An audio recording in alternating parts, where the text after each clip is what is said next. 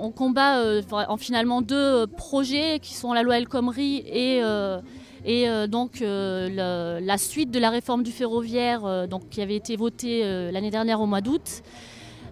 Aujourd'hui, on est en pleine négociation avec la direction de l'entreprise. Euh, sur un projet de CCN, la Convention collective nationale, euh, qui va décider de nos futurs horaires et notre nouvelle réglementation du travail. On remercie aussi quand même les camarades de Moulin d'être là. Euh, L'attitude du gouvernement, euh, c'est inqualifiable. En fait, euh, on avait un gouvernement de droite avec euh, Nicolas Sarkozy qui déjà était assez, qui était autoritaire. Et aujourd'hui, on a l'impression d'être face à une dictature qui impose ses, ses, choix, ses lois et qui n'écoute plus du tout le peuple et les salariés.